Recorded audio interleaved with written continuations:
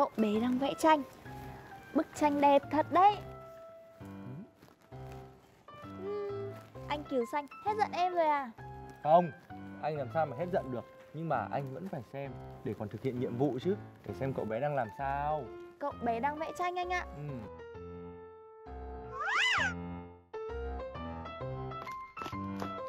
Bóng thấy anh vẽ có đẹp không?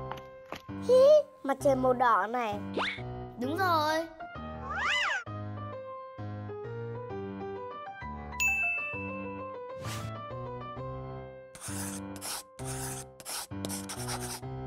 Màu xanh, màu xanh em vẽ vào tranh của anh?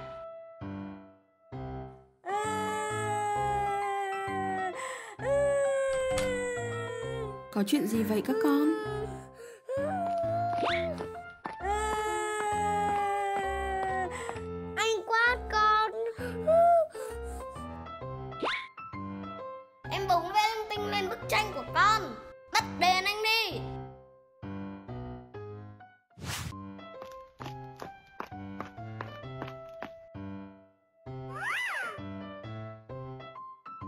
Bức tranh thật là đẹp. Giờ thì nó chẳng đẹp nữa Con muốn vứt nó đi Vứt đi ư? Thế thì tiếc lắm. Bức tranh rất đẹp mà con. Nhưng em bóng vẽ lung tung lên rồi Thật đáng ghét Em bóng biết lỗi của mình rồi. Khi con bình tĩnh hơn, em sẽ xin lỗi con đấy. Nhưng mẹ thấy những nét vẽ của em bóng cũng không đáng ghét lắm đâu con ạ. Nếu như con vẽ thêm hình gì đó từ nét vẽ ấy. Nhìn những vạch màu xanh này, con tưởng tượng ra cái gì nhỉ? Con... Con nghĩ đến ngọn cỏ và cái cây con Con sẽ vẽ thêm để thành những ngọn cỏ và cái cây mẹ ạ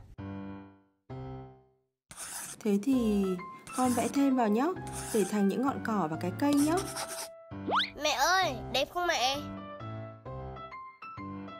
Đẹp quá, có thêm mấy cây con và ngọn cỏ. Con thấy bức tranh thế nào? Vẫn đẹp mẹ ạ Thế mà lúc nãy con định vứt bức tranh đi thì thật là đáng tiếc.